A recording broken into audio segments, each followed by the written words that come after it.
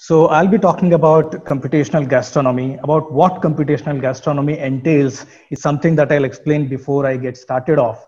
But before that, I'm Ganesh Bagler, and I come from an institute called IIIT Delhi, Indraprastha Institute of Information Technology. And those of you who have done any amount of binary uh, number system would know that IIIT Delhi is uh, 10 years old, roughly. Uh, it's now 13 years running. Uh, and uh, it has been dwelling on different aspects of computer science and allied areas, which includes computational biology, design, applied mathematics, and similar areas which uh, overlap with computer science. My lab, Complex Systems Laboratory, looks at various complex entities which primarily come from biological domain. And these entities are such as those of protein structures, cells, which basically we look at diseases uh, as cellular uh, uh, are, are malfunctioning of cellular mechanisms. Then brain as a network, we look at that and finally, uh, we have been looking at food as a complex system. So these systems, all of them are made up of interconnected entities, first of all, and they all exhibit an emergent property. Sum of the parts is not the same as the whole. This is a, a, a telltale feature of all of these entities. Given the fact that today I'm known for computational gastronomy research, you might wonder whether I have been a foodie all the time. But I must tell you that as a teenager, I was an aspiring astronomer.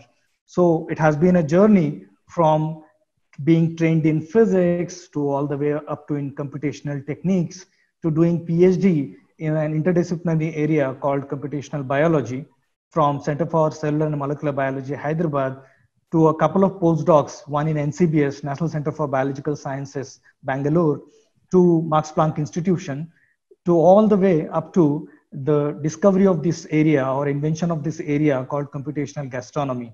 So it's been not so shortest path from astronomy to gastronomy. Having said that, what is computational gastronomy?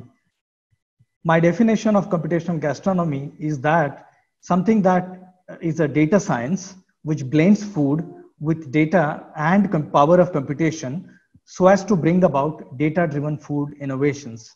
So essentially, my bet is that, like it has happened in many other areas of our life, where a certain aspect of life gets transformed by virtue of bringing in data and computation. Think of Google Maps, think of railway reservation systems, and social networks and whatnot. All of these areas have got dramatically changed because we have been able to compile a large amount of data on different attributes and have been able to apply various algorithms, computation on it to be able to come up with solutions, right? Food remains an artistic endeavor. Food remains personal, right? Food is like my mother's recipe. It's a, it has got a very personal touch, right? So question is, uh, such a personal topic, can it be transformed into a science in the first place and that to a data science such that we can actually bring about innovations there? Well, my all of my talk is going to be about that only too pitch uh, pitch that indeed it is possible and what is also not possible i'll mention that in short run when i look at food i look at it as transformation of raw ingredients into delicious recipes. All of us are used to and we consume recipes on a day to day basis. So each of these recipe is a product of cultural evolution and has uh, evolved over a period of a few hundred years or maybe more than that. And this food is magical it's transformational. And incidentally the ability of cooking is something rather unique to human beings which is not found in any other species on the face of the earth. No other species on the face of the earth cooks its foods relishes its foods in its cooked form in the delicious forms right? And passes it on to from generation to generation. But human beings do that.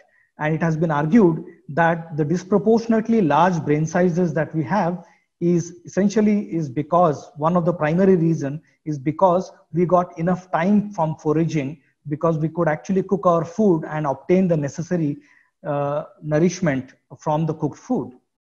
To an extent, uh, Richard Wrangham argues in his book Catching Fire that cooking is the very essence of being human. Well, having said that, if we have evolved to this extent from primitive species to what we are today, Homo sapiens, uh, you know, ironically, we have reached a stage where we seem to be plagued with an epidemic of lifestyle disorders, lifestyle disorders such as obesity, type 2 diabetes, cardiovascular disorders, and similar disorders. Why? Many of these disorders could be factored in after accounting for various other elements such as the genetics and social factors and lifestyle that of sedentary lifestyle etc food is a key component behind the epidemic of lifestyle disorders and food has changed a lot over a period of time notice that maybe around 12 to 15000 years back the earliest of the food might have been or the cooked food might have been only roasting of a meat or a fruit for that matter over time, uh, invention of instruments, invention of refrigeration, agricultural biotechnology, breeding, and many other techniques have changed the shape of the food the way human beings have been seen for a long period of time. My, uh, the question that I'm asking standing today on 21st, in 21st century is how is food going to change now, henceforth, having seen what we have seen so far? My wager, as I have explained to you uh, a while back, is that introduction of large amount of data associated with food, food attributes, along with the power of analytics, such as that of statistics, machine learning, and artificial intelligence, is going to change the way we look at food dramatically. That's my wager. And accordingly, I have been spending a huge amount of time in my lab. In fact, practically, I'm completely devoted to developing the foundations of computational gastronomy for the last five years. Uh, and we have been developing algorithms on various aspects of food.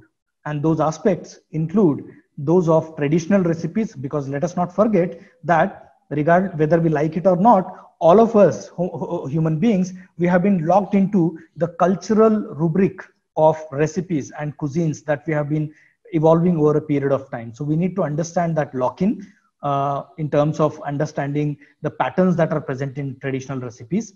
We need to look at the physical basis, the flavors, which is what makes them possible to be included in a recipe, used or not used, and the nutrition as well as health aspect of food.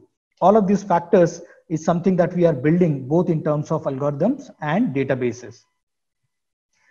All of this journey that I've been explaining to you actually started with a very simple question and that question that we asked when, when I was still as, uh, at IIT Jodhpur was, why do we eat what we eat? Today morning I ate dhokla. So why is it that I ended up eating dhokla and what makes it possible? So the proximate answers are easy to be given here. That's because the ingredients were available to me and you know that is what I could think of eating today morning. But the ultimate answer in terms of what make, made dhokla to be available in the form it is today is something which is far more deeper. So we took a very simplistic stance and we said that let's assume that a recipe is characterized by the fact that it is a set of ingredients as opposed to being individual ingredients. I know it's a very simplistic notion, but let's stick to it for the moment and I'll come back to this point again. So by considering the recipe as a combination of ingredient, this question changes into this one. Why do we combine ingredients the way we do in our recipes?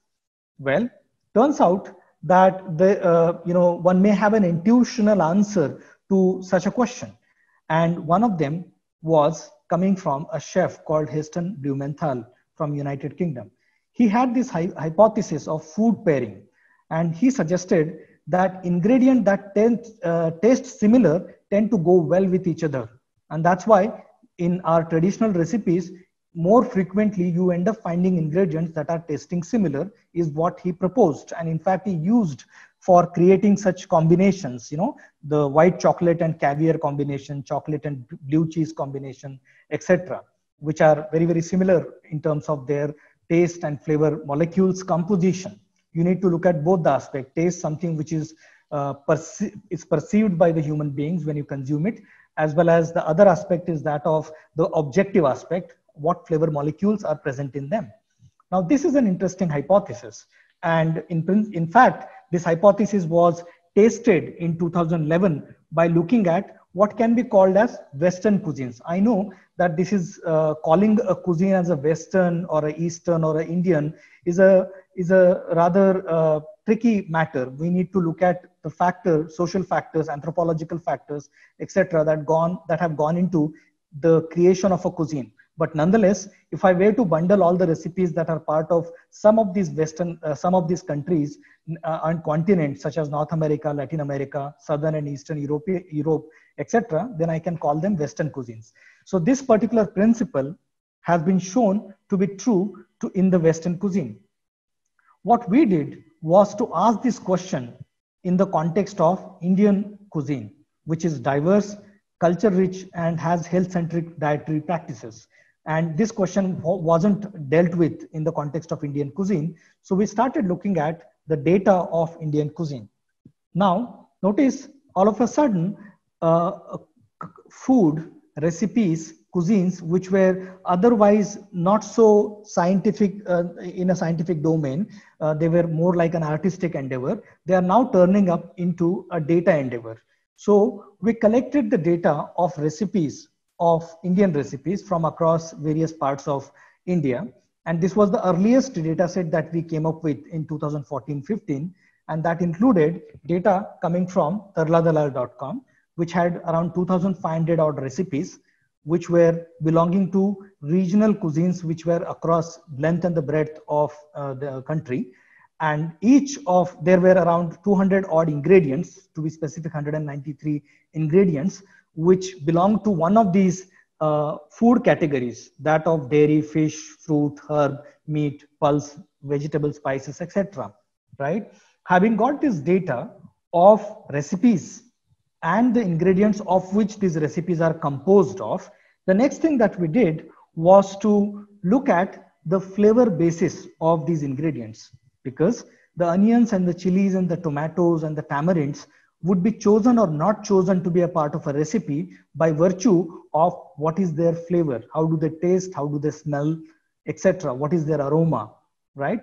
And incidentally flavor molecules which are part of these ingredients the chemicals are the ones which when we consume this food or when we take it closer to the nose interact with the so-called olfactory and gustatory mechanisms in our body, giving rise to a rich sense of the flavor of that particular ingredient, be it onion or chili or tomato. Given that we compiled from a large body of literature the flavor molecules that are reported in each of the ingredient. So essentially, corresponding to onion, we had a bunch of molecules which are known to be found, flavor molecules, which are known to be found in onions. And the same was done for each of the ingredient that we had with us having created in this manner, this is the broad statistics that most of them tend to have relatively small number of molecules, you know, anywhere between 0 to 25. But there are certain ingredients which do tend to have up to 50, 75, or maybe even 100 ingredients, of 100 flavor molecules in them, right? So this is the statistics uh, of that, suggesting that some of the ingredients are pretty rich in terms of their flavor profile. And having got the flavor profile, most importantly for us, we can do the study that uh, was suggested by the food pairing principle. And that is to look at what is the similarity of the flavor profile between any two ingredients, like in this case of coconut and onion, right? So how do we do that in the context of a recipe? So we looked at the full cuisine, the Indian cuisine itself, starting with recipe number one, recipe number two, all the way up to 2543, right? And we broke down this caricature coconut chutney recipe. Uh, I deliberately said caricature because obviously it's not real recipe, where let us say it has got this coconut, onion, chili, and curry leaf. We can break it down into its constituent ingredients as shown in the bottom of the slide. And further, we can actually create pairwise combination of these ingredients like onion and coconut, coconut and chili, curry leaf and chili, etc. And for each of these pair, we can ask this question about what is the number of common molecules between the two, right? If you do that, then you will end up getting one number for each of these pair about how many molecules are common, if there is any. Now, when you take an average of all of these numbers that you get, that comes out to be the food pairing index of that recipe. For example, it could be that the food pairing index of coconut chutney is, let's say, 5.31, which is an average number of flavor molecules shared across all pair of ingredients in its ingredients. Well, the beautiful thing that we have ended up doing here that with so many other, uh, sorry Yeah. to interrupt over here. Yeah, In its yeah. recipe, correct? With Yeah, regards to the curry leaf and the onions over here. true. Uh, Can can you uh, explain a little bit more about um, what what kind of pairing is being done between something like say coconut and onion? Just just so I have a, cl- a clear idea. Yeah, so I don't have the exact numbers with me, but let us say the coconut and onion have approximately 15 flavor molecules shared between the two. Okay, and similarly, coconut and chili may have three molecules shared between the between the two. These are molecules which eventually going to elicit taste and odor when we consume them. And when you take an average of that, you will get an, a single number, which is the average number of flavor molecules. I hope it is clear. And the higher the food pairing is, the more complementary the ingredients are to each other. higher the food pairing is, uh, more similar are the two ingredients to each other. That is true. Yeah. Please go on. Yeah. So having got the food pairing index in such a manner for one recipe, you can actually do the statistics for the whole cuisine. So remember this was one particular recipe for which we did this computation of the food pairing index in terms of flavor molecules sharing, right? And that number which comes out from the whole cuisine is the mean value of the food pairing across the whole cuisine and its standard deviation. All right. So this is done for the statistical purpose. Why are we doing this? We want to ask a question that given the basket of same ingredients, same vegetables, same dairy products, same chili, uh, same spices and uh, uh, herbs, etc. The question is, if I were to randomly put together the ingredients, what would be the food pairing index? Because even such a randomized bunch of ingredients will have some amount of sharing amongst them. So compared to such random cuisine, what would be the food pairing index of a real cuisine? That would tell me how uniquely the cultural practices, the geography, climate, etc., have affected the cuisine to be what it to become what it is today. So we ended up doing this experiment to find out what is the food pairing index of a randomly composed uh, recipes, ingredients being exactly the same that it, they were in the beginning.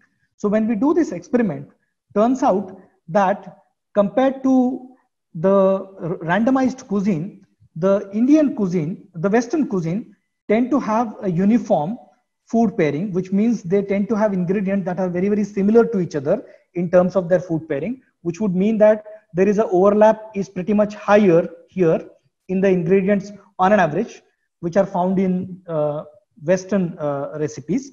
And that's what we have labeled it as uniform food pairing, similar type of it. Compared to that, when we looked at the Indian recipes that we had with us, we figured out that the pairing is in fact of a contrasting nature, meaning compared to that of a randomized bunch of it, we tend to have lesser and lesser overlap, lesser and lesser number of molecules that are shared between two ingredients in on an average in Indian recipes. And that is what we named it as contrasting food pairing. And this turned out to be an interesting observation in the context of uh, recipes from Western world. Again, I must uh, point out the, to the fact that we are uh, stereotyping here, but nonetheless, I'm going to use the notion broadly speaking, the Western world versus that of the Indian recipes. India itself is pretty diverse, but we have taken all of these recipes together from across the length and the breadth of the country. Well, one of the most interesting observation that we did was actually the second one, wherein we did random shuffling of ingredients within a given category. So we had bunch of recipes which constituted a cuisine, in this case, Indian cuisine. What we did was to say that, look, what would happen if I were to take every vegetable in these recipes out and randomly replace it with some vegetable from the vegetable basket, everything else being the same. Everything else is untouched, absolutely. When you do this experiment, turns out that you will have some change in food pairing. And that would indicate how sensitive is food pairing to such shuffling within vegetables? Right? So that's the experiment we did for every category that we could manage to do based on the statistical numbers that we had with us. And we figure out that compared to the original food pairing that the indian cuisine had the contrasting one as you can see the shuffling within category for vegetables or fruits or dairy or plant etc was changing the food pairing marginally and still keeping it on the contrasting side whereas if i were to shuffle one category of ingredients randomly the food pairing index was dramatically getting changed and you can actually make a guess about what that category would be and most of you would be right about it the reason being that it's pretty intuitional, I, would say, about which category, ingredients of which category are critical in Indian recipes. Spices. We found out that spices are the molecular fulcrum of Indian recipes, meaning that shuffling them, taking a clove out and putting cardamom or taking cardamom out and putting something else there is actually going to change the pattern of food pairing pattern and thereby probably taste and the aroma of the recipe in a manner that it changes the identity of the cuisine. So we concluded by the end of this study. I must also uh, highlight that while the contrasting food pairing uh, result is very interesting, the fact that spices are the molecular fulcrum of Indian cuisine has remained a robust result, despite the fact that we have co- collated a much larger number of recipes than we had earlier. Despite that, the result has remained pretty robust. So this is a very, very strong result and something which doesn't change uh, with change in data, which has happened because of the uh, very early stages of this particular area. Um, Professor Ganesh, uh, yeah. if I could just like uh, go back to the the swapping out of um, specific ingredients.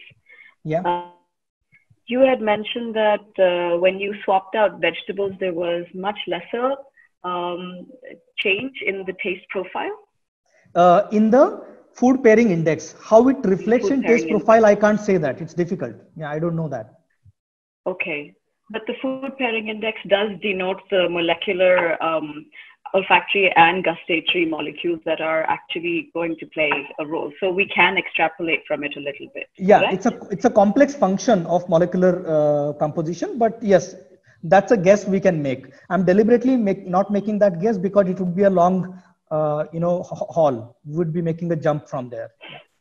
Okay, and then you're stating that the biggest change that comes in the food pairing index, which just throws all the numbers off, is when you swap out spices instead of um, ingredients like vegetables. Yep. Maybe in like a sabzi. Okay. Yeah. All right. Thank yeah. you. Yeah, that's Please observation. Yeah. All right. So uh, what we did is to notice that all of these observations of patterns in the recipes data are very myopic. They look at simplistic patterns such as pairwise ingredients and uh, they are rather naive.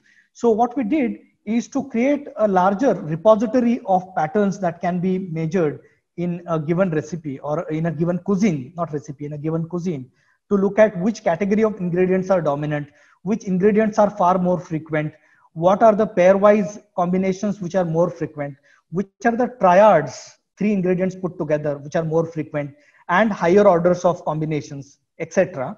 All of these things put together, we labeled it as a culinary fingerprint like a DNA fingerprint, which uniquely identifies a human uh, based on the patterns in the DNA. In a similar manner, by looking at a large number of recipes that are known to characterize a cuisine, one can actually pull out these patterns by looking at their recipes, ingredients, and the flavor molecules uh, to form culinary fingerprints. That's what we ended up observing and finding it out and publish it later going forward, uh, these culinary fingerprints actually tell us about the role of a particular category of ingredient like uh, spices, uh, vegetables, uh, dairy, dairy products, etc. How do they contribute uh, towards the food pairing index? That is what we measured. And this is just an illustration of a South Indian cuisine and how does it look. All of this research that we did uh, in 2015 got a lot of press and also academic you know, recognition. uh, it was identified as best of 2015 and also highlighted as an emerging technology by MIT Technology Review. And also uh, many people such as Veer Sanghvi and many other outlets across more than 200 out, uh, media outlets highlighted our work as the future of the food. And importantly, uh, industry was not far behind in recognizing the fact that bringing data uh, and computation together with food is going to revolutionize food in a big way, although it will take its own sweet time to make it happen. So they identified it as the sweet spot of the food. Uh, what I'm going to do now in the next uh, 15, 20 minutes is to tell you about what is the future that we are looking at, what is the future that we are building in our lab uh, when it comes to computational gastronomy. And while saying so, I must also highlight what are the shortcomings of the work that we are doing as of now. Notice that computational gastronomy is where physics was maybe in 18th century. It's a very early stage. Uh, food is a very, very subjective matter, very personal matter. It has got variety of associated factors, you know, geographical, climatic, um, personal, uh, interpersonal relationship and whatnot, apart from the physiological basis of food that it may have. So therefore, uh, unentangling all of these parts to bring out food in its full glory when it comes to computational gastronomy is going to take its own sweet time. And this is the story of a spherical cow. Those of you who have not heard about it, physicists and mathematicians are known to make this mistake of when given a challenge of modeling a cow, they will start with the assumption that let's assume that the cow is spherical. Well, turns out that their such assumptions are useful at times, but at the same time, they would not be representing the reality in the best possible manner. Therefore, the kind of studies that we have done, while they are useful, interesting, give us insight into uh, a social, anthropological factor such as food, at the same time, it doesn't actually let us to the depth of food at the level at which we would like to go. And therefore, let me tell you what are the assumptions that we made. We said that recipe is an unordered list of ingredients. Of course not. Recipe is an ordered list of ingredients and quantity matters. The process which goes into cooking also matters. Similarly, we also assume that an ingredient such as tomato or a chili is nothing but a bunch of flavor molecules, practically speaking. But in reality, that is not the case. The concentration or the uh, quantity of each of the flavor molecule that goes into the ingredient matters or how that molecule is interacting with uh, the taste and uh, odor receptors matters a lot, right? So there are many such factors which have gone ignored. And I must tell you that we are trying to build upon that, whatever is level possible. And it's a new niche that has been created. Therefore, the number of people who are working and the number of people who are willing to spend their time, dedicate their time in building the foundations are relatively few. And I'm proud of it that our lab is trying to do this job of putting things together of this jigsaw piece of puzzle. What we are trying to do in our lab is to bring about data-driven food innovations by using this data-centric and AI-centric platform. And there are three dimensions, mainly speaking, that we are looking at, although there are other dimensions that I'm not going to talk about today. One is that of the recipes, that how can we dramatically change the way we look at recipes? Second is that of nutrition and health. How can we make food more tasty, more nutritious, more healthy? Uh, and how can we change food at the level of molecules? is these are the three different angles that I'll be talk, telling you in the next 15 minutes or so before I can conclude. So the first angle was that recipes had been looked at in a very simplistic manner.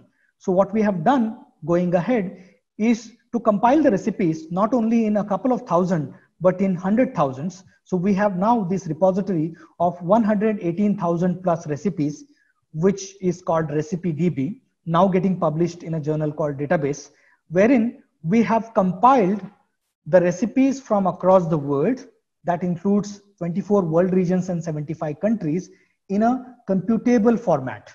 Unlike a traditional recipe resource where you can go and search by name of a recipe, here you can search by complex queries. Show me all recipes which are having tomato, chili, but doesn't have turmeric. from Algeria, Algerian cuisine. And such qu questions can be asked, which can potentially be answered by RecipeDB provided the data is available there.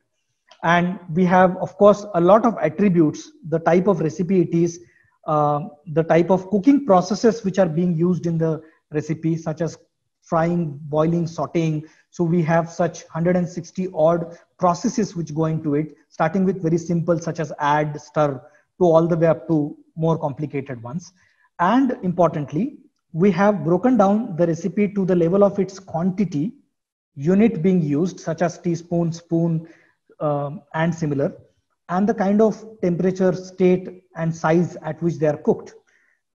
All of these have been also mapped to their nutritional data the, uh, from United States Department of Agriculture nutritional data to estimate their nutritional profile. The agenda here was to come up with a system where given a recipe in a human readable format, it should be able to extract all relevant information and tell us about especially its nutritional value, both macronutrients as well as micronutrients. That was the objective with which we worked on it. And this is not a job done completely. This is the step one. The V1 is what we have created. And we hope to build this further to make it far more applicable. Uh, we have gone further and looked at these recipes from various parts of the world and have done culinary fingerprinting of these world cuisines. Remember, we had done it for Indian recipes, Indian regional cuisines, and we have gone further and done it for the world cuisines to be able to map what is what are the patterns in these uh, cuisines across the world. Um, one of the uh, interesting questions that we have been asking in, in our lab is that like languages have their own way of similarity in them the, the phonemes that we use them uh, the letters which are used in written uh, in language. Based on that, we can construe the similarity of the languages. We know, for example, how Punjabi, Urdu, and Hindi are similar, and that way Telugu and Kannada are very similar, both in spoken as well as in written language. And thereby, we can actually build a tree which would have a Dravidian branch versus that of an Indo-Aryan uh, branch, etc. So the question is, can we also similarly learn from the patterns of the cuisines without going, going to, into much of the details and come up with a tree of cuisines. That was the idea behind it. Uh, imagining almost as if cuisines have been evolving over a period of time. Although there is a far more subtlety that goes into this uh, notion because we are borrowing from biological evolution, but nonetheless, the primary idea is acceptable and we have built such lang- uh, cuisine tree similar to language tree. And this is the tree that I was showing to you. One of the questions that we are asking in our lab is theoretically how many recipes are possible? And the number turns out to be astronomically large. The average number of uh, ingredient in a recipe is around 10. And the number of ingredients that are available to be put in these slots are around 1000 with a at a very very conservative estimate in reality the number is in tens of thousands but I'm taking a very small number, which is definitely agreeable. And with that, you get a number which is 10 to the power 30, which is astronomically, astronomically large. So the question here is, why is it that the cultures have evolved recipes which are far less in number at any given estimate, the number is far less than 10 to the power 30, right? Very, very, very, very less, minuscule. So question is, can we actually come up with strategies by which we can learn from the recipes that have been already evolved and build new recipes? Well, that's a question we are asking in our lab. Our in inspiration is also coming from a movie called Ratatouille. I'm sure many of you would have seen this movie called Ratatouille, where Chef Gusteau has this catchphrase where he says that anyone can cook. So the question here is that can the intuition, intelligence of a chef can be built into a program, an algorithm which can spew out uh, recipes which are new recipes. Remember, chefs and culinary enthusiasts are known to tweak, do trial and error, and identify which recipes are good and come up with new recipes probably over a period of time. In fact, many people don't argue with the fact that you can build a knowledge repository of cuisines across the world like we have tried to build in RecipeDB But how will you build in the intuition? Well, that's a big factor. And we are trying to do that using the deep learning uh, algorithms that are in vogue right now. And they have been trying to replicate the style of writing of Shakespeare, the style of music synthesis of Beethoven. And we believe that we should be able to uh, regenerate uh, expert chef's intuition with the help of large number of recipes and in a structured manner they are not just bunch of words but where we know this is an ingredient this is a quantity this is a unit and thereby can we build new recipes is the question that we are asking so it's a very very challenging and interesting dimension that we are working towards coming to the second dimension that of flavor molecules and the molecular space wherein I would like to tell you that until now, as I said, it's a new area. Therefore, there was no existing repertoire of flavor molecules found in natural ingredients, those which are found in tomato, ones which are found in chilies and etc. It was not available until now. We have built this repertoire called Flavor DB, which uh, was also made available as a flavor app. It has been taken down now for upgradation purpose, but this repertoire provides the most exhaustive collection of flavor molecules that are reported in natural ingredients. And the idea is also to come up with applications out of it. Very soon, while the agreement is still to be done, but very soon we may deal with a big company which brings you into an uh, voice answering system, uh, the Flavor DB app, where you can do food pairing with the help of Flavor DB. One of the applications of such a compilation of flavor molecules, wherein molecules and their tastes are put together, is that of predicting taste.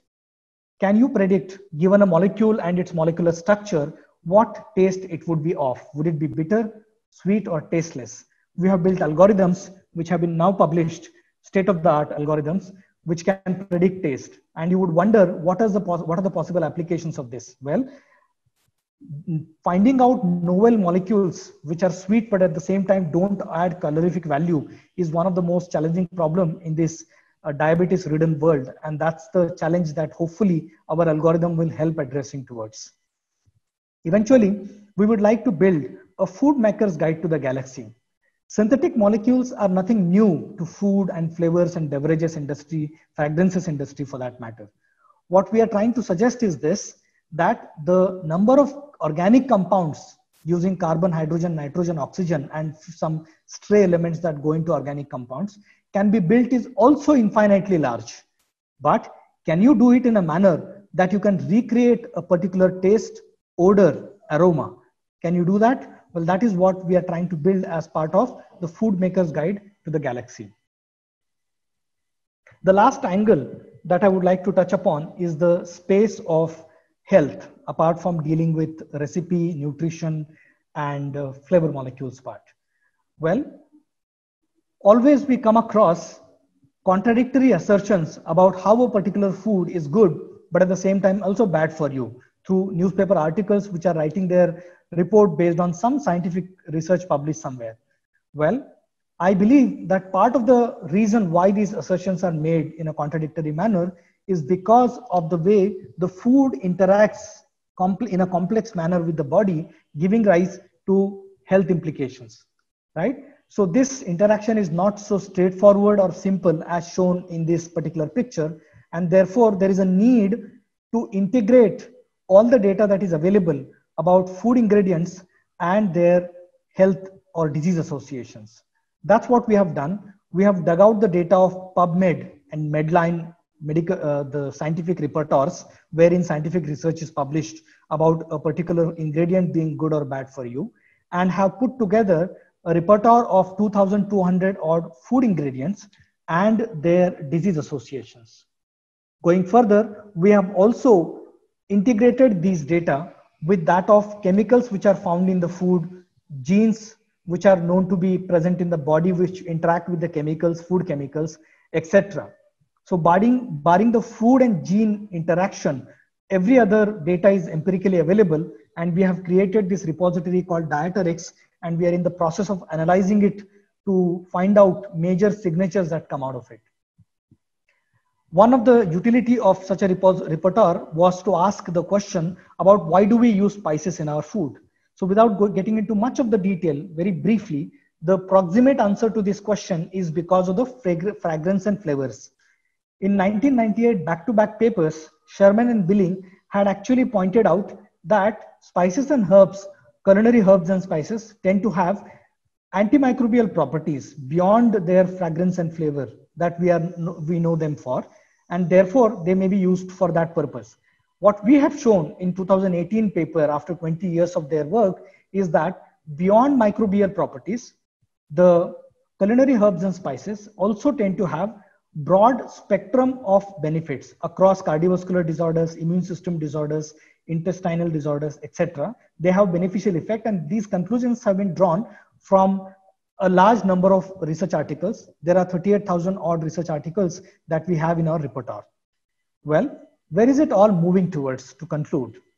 In my opinion, all of this research of computational gastronomy, blending food and data with computation is taking us towards a world where food would be personalized.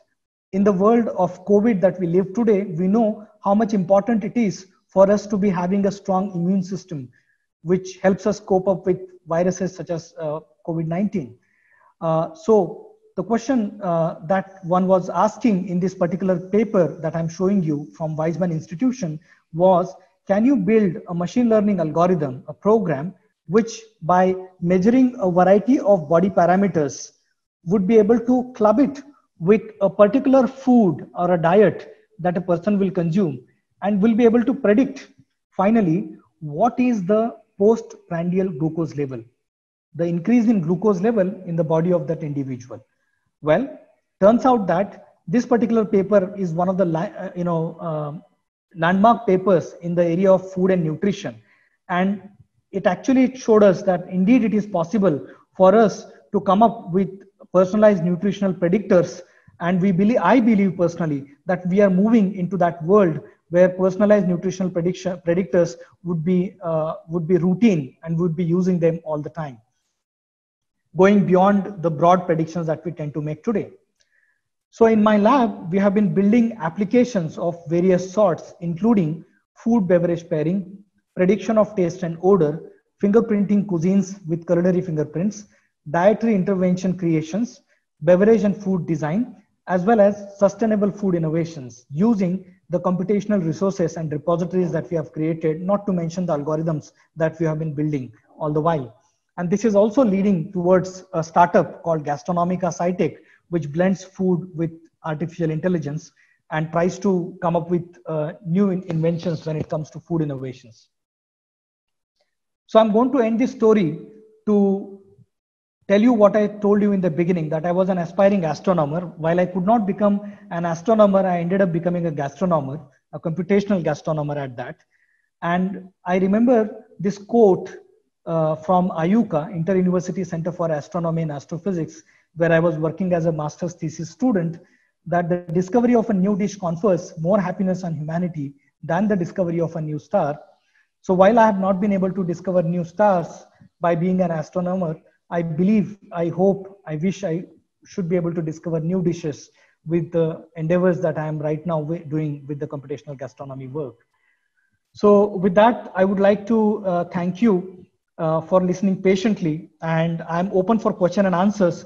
Just give me one minute when I could actually thank a variety of people who have helped in me in this endeavor, wherein we are trying to put knowledge, data and applications together in my lab a large number of PhD students, MTech students, BTech students, youngsters who have helped me, who have been my collaborators, who have contributed to different aspects of the work that I've done, without which most of it would not have been possible. Only ideas would have been possible, but implementations would have, wouldn't have been possible, right? So I should thank them, all of them. And many of them have been summer interns. So we have a very active summer internship in my lab, which goes on every year. Right now also it is going on in an online mode. So with that, thank you note, I get back to you for question and answers.